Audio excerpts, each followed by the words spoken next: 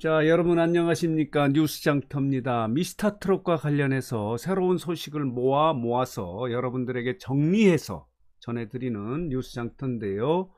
자, 오늘은 뉴스 장터가 엊그저께죠? 16일 밤 10시에 방송된 사랑의 콜센터 16회분에서 이명웅과 황윤성이 뚜엣으로 불렀던 에스파시토라고 하는 노래가 당초에 어, 예고 방송에서는 이것이 나올 것이다. 이렇게 예고를 한 상태에서 본방에서 이것이 통편집됐다고 미스터 트롯 팬 여러분, 특히 이명웅 팬 여러분들이 엄청나게 화가 나 있었는데요.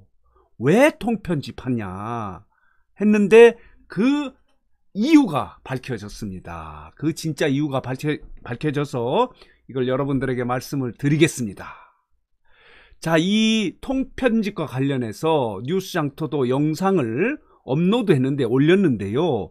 댓글이 엄청났습니다. 무려 1800여 개의 댓글이 예, 올라왔는데요. 내용인 즉슨 이런 겁니다. 홍보 예, 예고 방송에 이 데스파시토가 방송된다고 그래서 끝까지 기다렸는데 나오지 않아서 속은 느낌이다. 예고가 됐기 때문에 여, 그 다음 자정 넘겨서까지 이게 방송이 되지 않습니까? 그래서 끝까지 나올까 나올까 하고 기다렸는데 나오지 않았다. 이게 굉장히 화가 난 거예요. 예고가 됐기 때문에. 두 번째는 뭐냐면 이 데스파시토 노래는 이명웅이 지난 4월에 사랑의 콜센터에서도 노래를 부른 적이 있어요. 이, 이때도 이 스페너어기 때문에 이걸 발음하기도 어려운데 이걸 부르려면 굉장히 노력을 많이 해야 되는데 이번 무대 같은 경우는 황윤성과 듀엣 무대를 하기 때문에 더 열심히 노력을 해서 연습을 해서 무대를 무대에 올린 노래를 이렇게 통편집하는 게 말이 되냐? 가수를 너무 무시하는 거 아니냐? 제작진이 너무 갑질하는 거 아니냐? 이런 방식의 댓글이 엄청나게 쏟아졌습니다. 그리고 또 하나는 뭐냐면 이것이 본방에 통편집된 이후에 어, 미스터 트롯의 그러니까 TV 조선 측에서는 그 미스 앤드 미스터 트롯이라고 하는 유튜브 공식 채널에 이 영상을 올렸는데 엄청나게 인기를 끌은 거예요. 너무 멋진 무대였고. 그래서 왜 이런, 이런 그 노래를 본방에서 뺐느냐 하고 더 화가 난 거죠. 이 유튜브 채널의 조회수가 오늘 현재입니다. 자, 19일 오후 현재 100만, 102만 회가 조회됐습니다. 102만. 이틀 만에 102만 명이 이 영상을 본 거죠. 그리고 이명웅이 혼자 불렀던 데스파시토도 4월 달에 부른 것도 이명웅의 유튜브 채널에서 무려 217만 조회수를 올렸어요.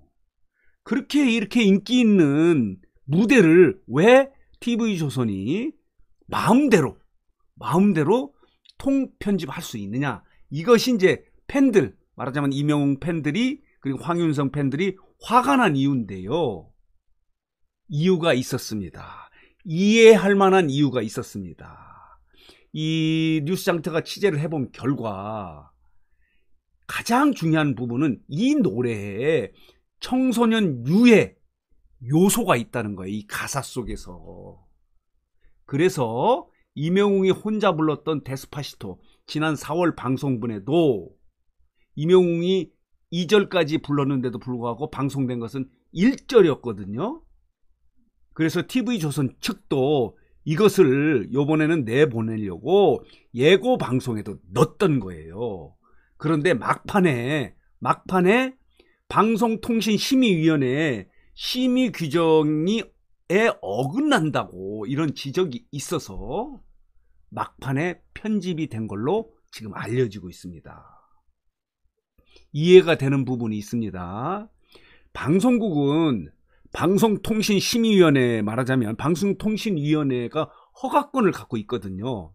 그래서 3년, 4년 단위로 재허가 여부를 결정하는 아주 그 중요한 국가기관인데요.